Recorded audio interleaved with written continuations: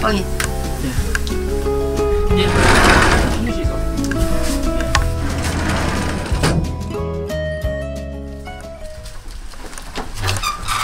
온종일 고택안을 휘젓고 다니다 보면 초저녁부터 피곤해진다. 재성신 정년까지 8년의 시간이 남았지만 미련 없이 사표를 냈다. 사표를 낸 바로 다음 날인 2015년 1월 1일. 새해 시작과 함께 고택에 들어왔다. 아버지가 80을 넘기면서 귀도 어두워지셨고 자주 깜빡하신다. 어머니 건강도 전과 다른 것 같아 좀 서두른 것이다. 화장실 한 번 가는데도 많은 계단과 문턱을 넘어야 하는 고택이지만 이런 불편은 문제도 아니다. 그에게는 할아버지와 할머니가 계셨던 추억이 서려 있는 늘 그리운 집이었다. 혼자 사는 노총각 같아요. 예?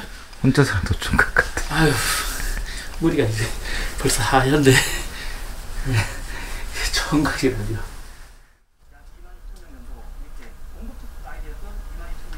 재성신 고택으로 들어오기 위해 기러기 아빠도 자처했다. 아내분이 여기 들어온다 그래가지고 처음에 좀 반대죠. 진짜 반대 많이 했어요. 실제로 내가 하게, 내가 유일하게 학교 그만둔다는데 그 사표를 냈다 이렇게 이야기를 하니까 우리 애 엄마만 그 왜, 왜 그랬느냐 그러면서 빨리 그냥 그 취소하라고 그랬어요.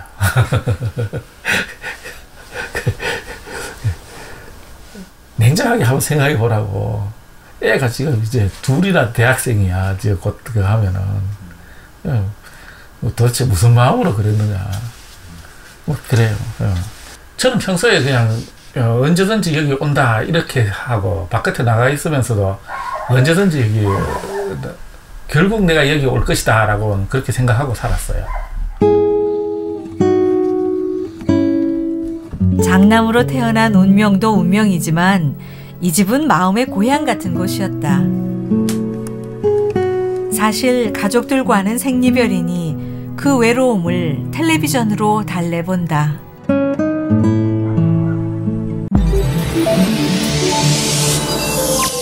KBS